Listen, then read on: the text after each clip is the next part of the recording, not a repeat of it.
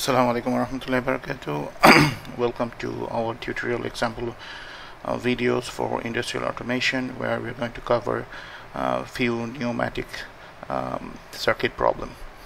Okay, so the first problem uh, is basically an um, edge folding device that is actuated by um, pneumatic cylinder. So uh, this is a sheet metal um, and basically this uh, pneumatic cylinder will be pushed forward so that it can uh, fold this sheet metal to 90 degree and make this shape.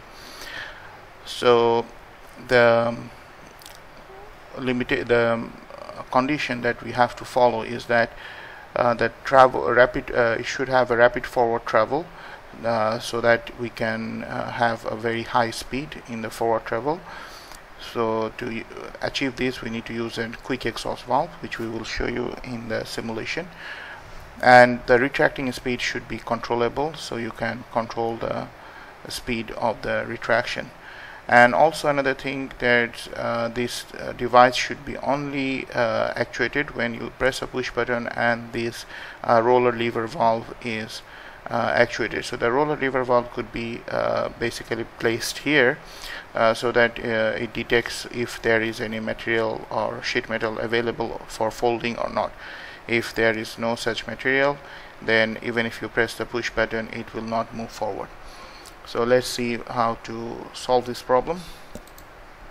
So as usual we are going to use FluidSim uh, 3.6 and I have already prepared this one uh, by using the uh, components from the library which uh, I have already explained how to uh, make this circuit in my earlier video. You can refer to those videos as well. So this is a double acting cylinder and this is a 4 to a valve which one side pneumatically actuated but the other side is basically uh, return um, return back to its original position by spring force and we have uh, two uh, switches. One is a push button another one is a roller um, roller lever valve um, as to detect the material or the workpiece and purposely I put it uh, without spring loaded just for simulation purpose. But in real life it will be spring loaded and basically the weight of the workpiece will cause it to be actuated. And if the workpiece is not present then because of the spring force it will be uh, coming uh, coming back to its original position. Okay now here is the flow control valve uh, just for um, for the purpose of return speed should be controllable so that's why I put this one. So as you can see when it the uh, this air is uh, going out from this side and it will be going through this valve so that basically it is controlled. But where, where uh, through this throttle valve. But when the air is going up to the cylinder in this chamber it is basically going through this uh, this ball will be lifted up and it will have no flow control on the other hand, uh, this is a quick exhaust valve, so we want the forward speed to be as fast as possible. So that's why we use this quick exhaust valve. The principle of operation is such that when the air is going, it will go through this port. So it will go to one and this ball, uh, the ball will be lifted up so this port will be closed and then air will go to the uh, working port 2 but when air is exhausted from this port is basically uh, it is going uh, very fast uh, through this exhaust port instead of going through all the way to the original valve exhaust port. So that will cause it to be exhausted um, faster than as uh, than usual and then the speed will be also faster. So let's see how to simulate this Uh, problem. And this is as usual the pressure source or the compressor so so let's play the simulation button and okay. So we have to first put the workpiece so then it will be valve will be actuated and then you press the push button so you can see it is going very fast. And you release the push button it will be controlled. And you press it again it is very fast.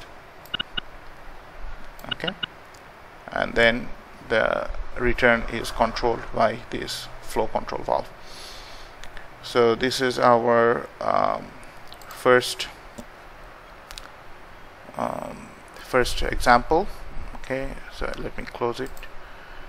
And our second example let me just open it. Then we will discuss. Let's see okay so this is our first example and the next two example are almost similar uh, so I will skip this one. Rather this one is um, more comprehensive so I will discuss this example but these two are almost uh, similar with, with a little difference uh, which has been taken into consideration in this current example. Okay so here is basically we have an embossing um, machine okay so which is actuated by a double acting cylinder uh, powered by a double acting cylinder and the return of the die that means this embossing die is affected when the cylinder uh, has fully extended to the embossing position and the preset pressure is reached. So that means there are two conditions. One is the cylinder has to reach to its final position and there has to be some preset pressure that it has to achieve and then only uh, this will be retracted back. So these two condition is there. And uh, the uh, moving forward I mean the, the, cylinder to move forward only one push button is required. Uh, there is no there is no condition of workpiece retainer or as such. So let's see how to solve this problem and how to simulate this. Okay. So this is the double acting cylinder basically so I press the push button it will move forward. And if uh, when it reaches the end position that means the embossing position this uh, roller limit valve will be actuated.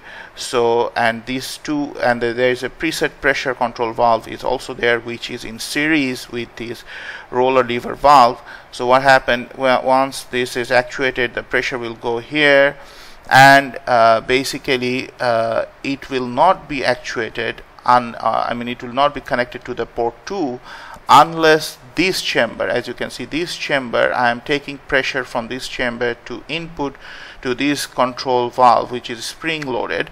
And this spring stiffness can be controllable.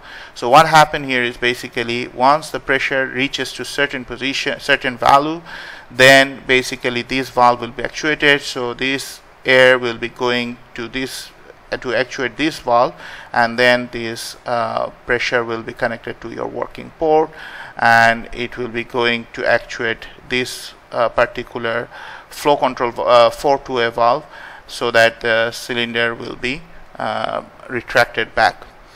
So I repeat once I press it it will cause it to be actuated in one direction so that it will move forward. So embossing cylinder will be moving forward but as it moves forward once it reaches the limit it will hit the limit. And you have to make sure that to give the level uh, where you want to put the limit. So I give level by double clicking this one. As you can see edit level. And you can put a1 here at 100 millimeter. That means at the end position the cylinder moves from 0 to 100 millimeter.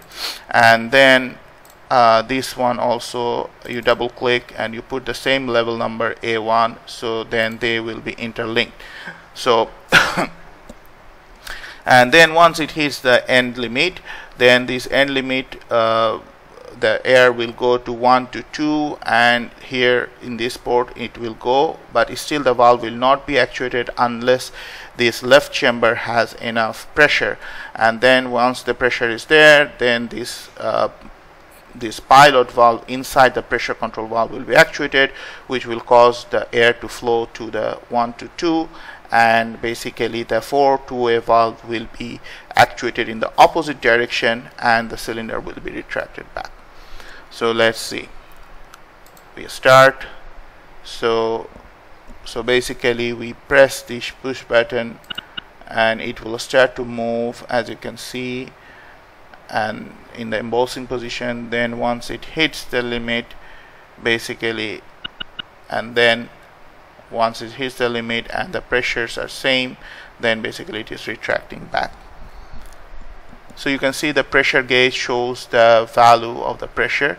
So initially the pressure is not high because I have maintained the pressure to be 10 bar for embossing. So you can see it is 4.5 and then it will be 10 and the 10.5 sorry 10.5 then only it will retract back. So this is how the system works. So this is to control the pressure. So these are the two examples that I have planned for this video. Hope you have understood. Thank you very much. Assalamu alaikum warahmatullahi wabarakatuh